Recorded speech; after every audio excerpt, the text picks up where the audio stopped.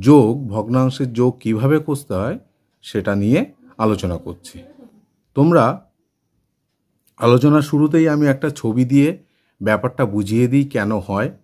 তারপরে কিছু সমস্যা আলোচনা করব যে ওই ধরনের সমস্যাগুলো কীভাবে কষতে হয় সমাধান করতে হয় সেটা আমি তোমাদের বলে দেব। তোমরা খুব সহজেই সেটা বুঝতে পারবে।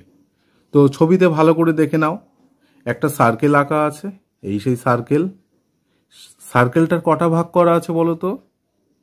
এখানে সার্কেলটার ভাগ করা আছে মোট সমান ভাগে চারটে ভাগ করা আছে। দেখো, একটা, দুটো, তিনটে, চারটে। অর্থাৎ এই সার্কেলটাকে আমরা সমান চার ভাগে ভাগ করেছি।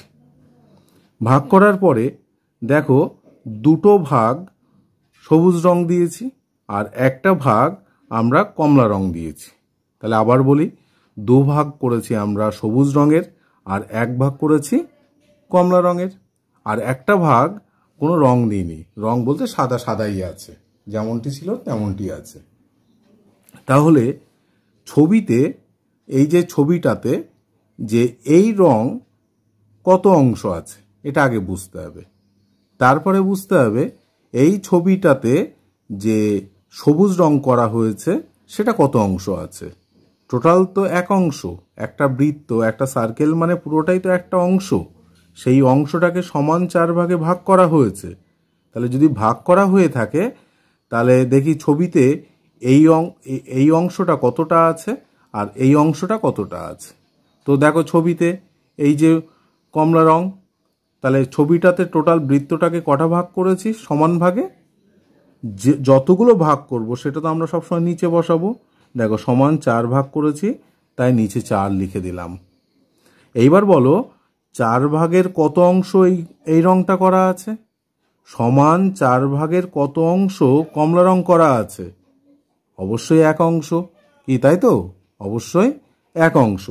তাহলে আমরা লিখে দিলাম, এই জায়গাটাতে এক অংশ। অর্থাৎ লবে লিখলাম এক, আর হরে লিখলাম চার। তাহলে ছবিতে কমলা রং আছে চার ভাগে সমান চার ভাগের এক ভাগ, অর্থাৎ এক বাই চার অংশ। আমরা এরকমভাবে পড়তে পারি যে চার ভাগের এক ভাগ বা এক বাই চার অংশ। এবার সবুজ রং দেখো। সবুজ রং দেখতে পাচ্ছি। এই সার্কেলটাকে একই রকমভাবে সমান চার ভাগে ভাগ করা হয়েছে। এইবার সেই চারটে ভাগের মাত্র দুটো অংশে দুটো অংশে কিন্তু সবুজ রং করা আছে। তাহলে আমি এখানে কত লিখব? লবের ঘরে? দুই লিখব। এখানে তাহলে লিখলাম দুই। তাহলে দেখো, সবুজ রং করা আছে কত অংশ? দুই বাই চার বা সমান চার ভাগের দুই ভাগ অংশ কি করা আছে? সবুজ রং করা আছে।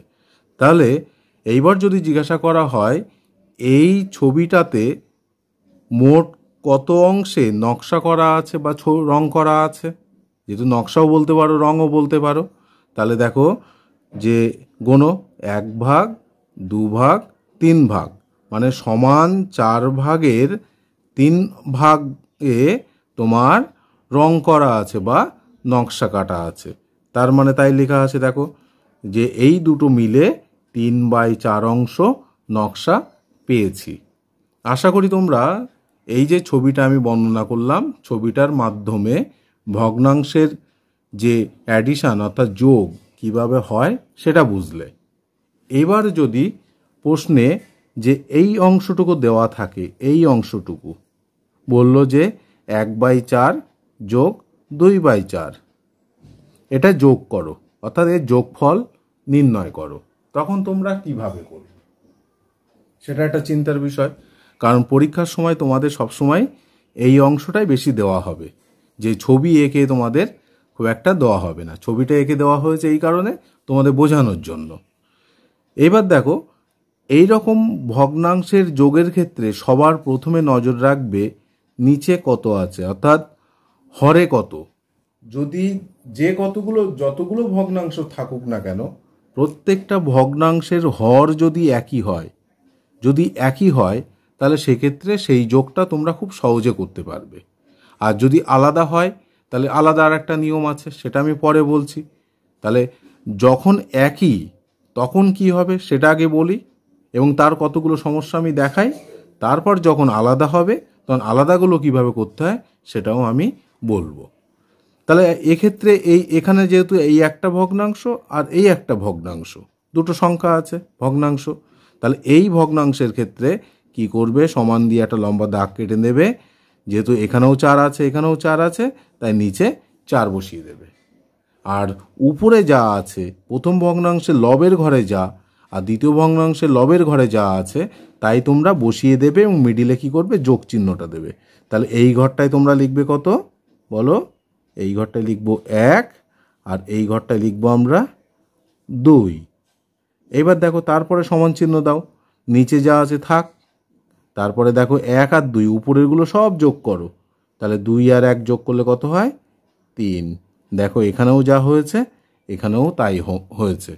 তাহলে মিলে গেল ব্যাপারটা। তাহলে এই রকম অঙ্কের ক্ষেত্রে আমরা কীভাবে বাকি যোগগুলো করব? আর তার দুটো একটা দৃষ্টান্ত আমি দেখাচ্ছি। আমার গণিতের একশো তেরো পৃষ্ঠাতে দেখো অনেকগুলো অঙ্ক দেওয়া আছে। সেই অঙ্কগুলো কীভাবে কষতে হবে, দুটো একটা আমি বলে দিচ্ছি। কিন্তু একটা জিনিস খেয়াল করে দেখো, যে কতগুলো অঙ্ক আছে, সবার কিন্তু হরে একই আছে। দেখো, প্রথমটায় সাত দুটোই সাত, পরেরটায় দুটোই পাঁচ, তারপরেরটায় দুটোই সবকটাই দশ।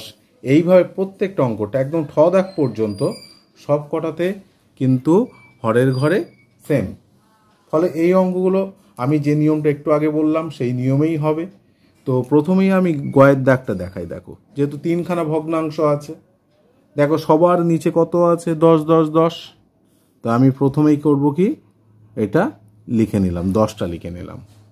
তারপরে উপরে যে কটা আছে, সব কটা তুমি যোগ করে দাও। সব কটা আমি যোগ করে দিই। দেখো, তাহলে এক আর তিন চার চার আর পাঁচ কত হয়?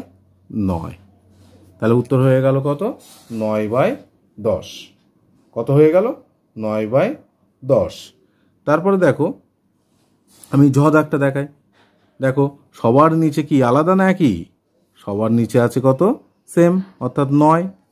এরপরের কাজ কি? উপরেরগুলো যোগ করে দেওয়া। তাহলে এক আর দুই, তিন হলো, তিন আর চার হলো সাত। তাহলে এটা হলো সাত বাই নয়। তাহলে আশা করি বুঝলে, গয়ের দাগ আর ঝয়ের দাগ। এরপরে দেখো, বর্গের জর দাগে বর্গীয় বর্গীয় জ যেটা আছে, সেখানে দুটো ভগ্নাংশ, দুইজনেরই হরে হচ্ছে ছয়। ছয় লিখে নিলাম। তাহলে উপরে দেখো পাঁচ আর এক যোগ করলে কত হয়? ছয়। এইবার এক্ষেত্রে একটু খেয়াল করে দেখো, পাশে আবার এক্সট্রা একটা ঘর করে দেওয়া আছে। যখন দেখবে এরকম আছে, অর্থাৎ লব আর হর সেম হয়ে গেছে, একই হয়ে গেছে, তখন অটোমেটিক্যালি তোমরা এটা কাটাকুটি হয়, লঘিষ্ঠ করতে হয়, করে কত হবে? এটা হয়ে যাবে এক। এটা কত হবে? এক। কারণ এটাও ছয় ভাগে ছয় ভাগ। মানে সেই মনে করো যে একটা সার্কেলকে ছটা ভাগ করা হয়েছে সমান ভাগে, সব ভাগে তুমি রং করলে। ছটা ভাগ মানে তো সব ভাগে রং করলে। তার মানে সেই সার্কেলের পুরো অংশটাই তো রং করলে। আর পুরো অংশটা মানেই তো এক অংশ, তাই আমরা এখানে এক লিখে দিলাম। একই রকমভাবে ঠ দাগটাও তোমরা নিজেরা করতে পারবে। আমি ঠ দাগটা তবুও একটু খাতায় করে দেখাই যে অঙ্কটা কীভাবে করতে হবে। ধরো পাতনোটা আমি প্রথমে দেখাই। দেখো, এক বাই সাত যোগ দুই বাই সাত যোগ চার বাই সাত। এরপরে দেখো, একটা দাগ কাটলাম। এইভাবে সবাই করবে আরও ভালো হবে।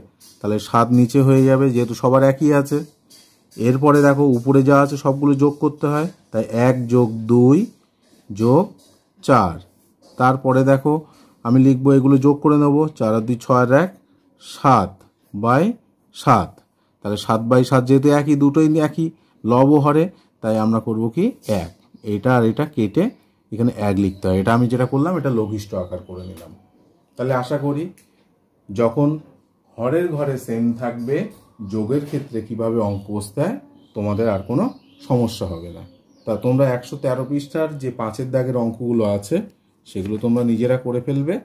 আর কোনো সমস্যা হলে অবশ্যই আমাকে জানাবে। এরপরে আমি আর একটা বিষয় যেটা বলছিলাম, যখন হরে আলাদা সংখ্যা থাকবে তখন সেই যোগটা তোমরা কীভাবে করবে? ধরো দুই বাই পাঁচ আছে, আর তিন বাই দশ আছে। অঙ্কটা ভালো করে দেখো। এই অঙ্কে একটা জিনিস পরিষ্কার যে হর অর্থাৎ পাঁচ আর এর দশ সেম না। তাহলে এই অঙ্কটা কীভাবে করবে?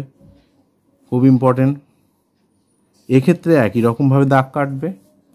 আর পাঁচ আর দশের মধ্যে এটা তোমাদের কাছে নতুন, তবু তোমরা জেনে নাও, পাঁচ আর দশ তোমরা একটু লসাগু করে নেবে। লসাগু করার নিয়ম এই যে, প্রথমে দেখো দুজনকেই কত দিয়ে ভাগ করা যায়? দুজনকেই কিন্তু আমরা পাঁচ দিয়ে ভাগ করতে পারি। তাই পাঁচ দিয়ে ভাগ করছি। তাহলে পাঁচ এককে পাঁচ, আর পাঁচ দুগুণ দশ। একে কি আর ভাগ করা যায়? যায় না। এইবার যেহেতু যায় না, তাহলে এইবার দেখো কি কি পড়ে আছে। কি কি পেলে? পাঁচ, এক আর দুই। গুণ করে দাও। পাঁচ, এক, দুই। তাহলে কত হচ্ছে? পাঁচ একে পাঁচ আর পাঁচ দুগুণ দশ। তাহলে লসগু পেলাম আমরা কত? দশ পেলাম। লসাগু পেলাম দশ। তাহলে যখন এটা আর এটা আলাদা হবে, তখন হরের সংখ্যা দুটোকে আগে লসগু করে নেবে। লসগু করে যেটা পাবে, সেটা তোমরা নিচে বসিয়ে দাও।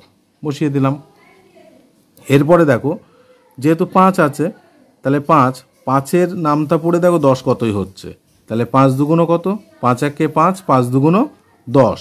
তাহলে পাঁচের সঙ্গে কত গুণ করলে দশ হয়? দুই গুণ করলে। এবার সেই দুইটা কিন্তু উপরে যে থাকবে, তার সঙ্গে গুণ করতে হবে। তাহলে কত হচ্ছে? তা আমরা যেহেতু দুই পেয়েছি, তাহলে আর এই দুই, তাহলে দুই দুগুণো চার। মধ্যেখানে আছে যোগ চিহ্ন তাই যোগ চিহ্ন বসালাম। এবার দশের সঙ্গে কত গুণ করলে দশ হয়? অবভিয়াসলি এক। কত হবে? অবভিয়াসলি এক। সেই একটা আবার কার সঙ্গে গুণ করতে হবে? তিনের সঙ্গে। তাহলে তিন এককে তিন। এরপরে দেখো, এবার চার আর তিন যোগ করে করো সাত, আর নিচে লেখো দশ।